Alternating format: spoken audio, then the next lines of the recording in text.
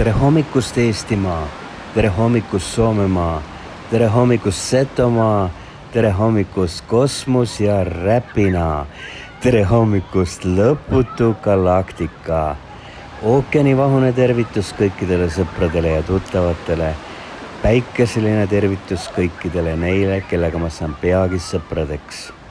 ajumudija on täna jälle oma lemmikrannas ma tulin vaatama, kuidas mehhiklased puhkavad ja lõbutsevad pühapäeva õhtul.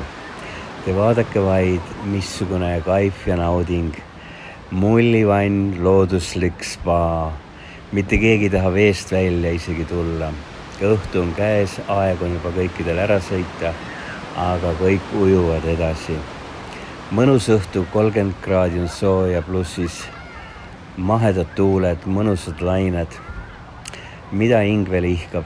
ma tean, mida see kõik tähendab, ma tahan teile seda näidata siin ja praegu, sest ma ju ise ujun ka peaaegu iga päev. mina ujun üldiselt hommikuti ja siis on nagu kõige tervislikum ja kõige mõnusam. vesi on siis äh, ääretult hea ja karastav selline. parasjagu soe muidugi või õigemini väga soe ja teate, täna ma tahaks teile rääkida mm, Mehhiko õllehaigusest, Mehhiko viirusest ja ma sooviks avaldada ühe saladuse, mida ma nagu avalikult mitte kellelegi ei ole rääkinud, aga ma arvan, et, et äh, see, mida ma nüüd räägin on, on üheksakümmend üheksa protsenti tõsi. ja mitte keegi selle peale tulnud ei ole. ma olen rääkinud igasuguste arstide, doktorite, bioloogide, viroloogidega ja ma olen küsinud, et mis te arvate, miks ei ole Acapulcos Mehhiko õllehaigust, et nagu näete, ma olen neid videosid teinud, olen rääkinud, olen näidanud juba kolm kuud. viis kuud tagasi, kui ma siia tagasi jõudsin, vahepeal ei ole seda haigust, ei ole seda viirust. kõik inimesed on normaalsed, elavad, lõbutsevad, naudivad, mitte mingisugust hälvet ei ole kusagil nagu kuskil mujal maailmas, et kõik on lolliks peast pööranud. no lihtsalt ei ole seda viirust. ja ma olen küsinud tohtrite käest ja, ja tarkade käest nii-öelda teaduspõhiste inimeste käest ja nad ütlevad mulle, et aga teil on see UV seal, et, et see UV mõjutab ja nii ja naa ja ma küsin siis vastu, et aga kui UV mõjutab ja tapab selle viiruse ära, et aga miks te ei kasuta siis haiglates UV-d ja miks te ei soovita kodudes, miks Terviseamet või Terroriamet ei soovita kodudes UV-d kasutada ja et milles siis nagu küsimus on, kui te teate, et UV tapab selle viiruse ära, et miks te ei kasuta seda UV-d? ja siis ei oska keegi jälle mulle mitte midagi vastata Nad küll ütlevad mulle, et UV mõjub ja, ja tapab selle, aga mitte keegi ei kasuta, mitte keegi ei julge iitsatadagi, et UV tapab viirust, sest viirus peab ju olema. kus muidu?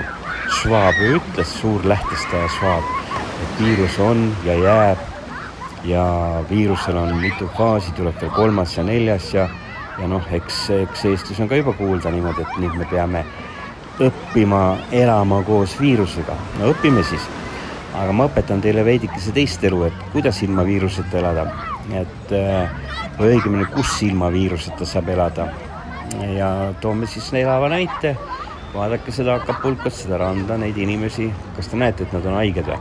kas te näete, et nad kuskil oigavad või, või, või karjuvad appi, et appi, appi, et mul on paha olla või? ei ole ja teate, miks see vesi, see on sedavõrd soolasisaldusega seal on nii palju mineraale ja soolasid, et, et kui te lähete ujuma näiteks siia Acapulco ookeani äh, vette, siis ujumisoskust vaja ei ole. liigutate sõrmi, varbaid ja vesi kannab teid vee peal. Äh, vesi on kerge vesi, äh, ujujad teavad, mida tähendab kerge ja raske vesi näiteks Eesti järvedes on väga raske vesi, et kui sa ujuda ei oska, hoiad nagu vene kirjas kohe põhja. sa ujud, sa ei jõua kaugele kuhugile, aga siin sa lihtsalt ujud ja ujud, võid tundide kaupa ujuda ilma ujumisoskuseta.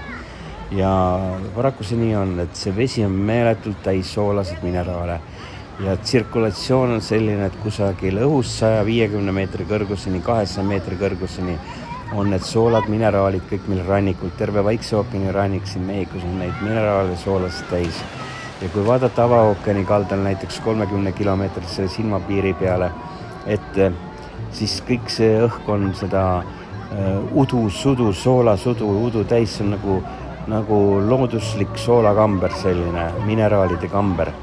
ja teate, mis selle soola ja mineraalidega siin toimub?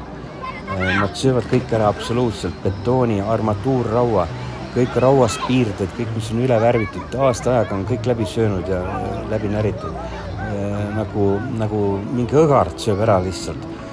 ja kõik võrkkiiged, kõik riided, kõik, kõik sööb ära absoluutselt, noh, päike ka loomulikult ja UV kiirus. aga see UV nagu ei ole nüüd see mm, põhiline, mis nagu seda viirust siin äh, takistab, selle leviku, levikut takistab. et viirused on ju olnud läbi aegade, et teeme ka selle asja selgeks. et kuna gripinäitajad ei ole muutunud varasemate aastatega, siis äh, ei ole kahtlustki, et see on mingi gripi erivorm, võib-olla raskem vorm võib-olla nendel inimestel, kellel on kroonilised haigused, seal on äh, valesti elus äh, toitunud, mingid rämpsu endale sisse ajanud, suitsetanud alkoholi kõik äh, kolmkümmend aastat jutti. noh, inimesed surevadki ära lihtsalt, aga noh, arstid nüüd avastasid oi-oi, et inimesed hakkasid surema, et mis nüüd saab, et ega nemad ju ei teadnud varem, et inimesed surevad, eks ju. ja et see, et ähm, haiglates on palju, palju haigeid ja, ja noh, see on ka maru üllatus on, et kui kolmkümmend aastat oled oma tervist tapnud, on et siis nüüd just äkki peaksid haiglad tühjaks jääma või? no ei, sellist asja ei ole. nii et äh, viirused on olnud, äh, viirused tulevad ja, ja ei ole siis Mehhiko õllehaigus ka mingisugune ime, imeasi, sest näitajad on kõik samad, näitajad on absoluutselt samad, mis olid kolm aastat tagasi, neli aastat tagasi. Numbrid ei ole muutunud, pluss-miinus seal võib-olla väga vähekese grippi ei ole enam. ja noh, nimetame siis ükskõik, kasvõi tekiila viiruseks või, või banaaniviiruseks või mis vahet see on. aga noh, räägi sa neile kui sa ütled, et kaks korda kaks on neli, nad ütlevad nüüd, et kaks korda kaks on kuus ja proovi sa siis vastu vaielda, parki lähed, värske õhu kätte lähed, tulevad äh, see, mis see on see tervise siis amet või terrorismiamet tuleb ütlema, et ei, ei, pargis ei tohi olla. hakake kuhugile põgenema, jooksma meie eest. noh, ühesõnaga idiootsus. aga siin ongi see asi, et mine-, mineraalid, soolad ja need on kõik oma töö teinud ja sellepärast seda, seda värki siin ei ole.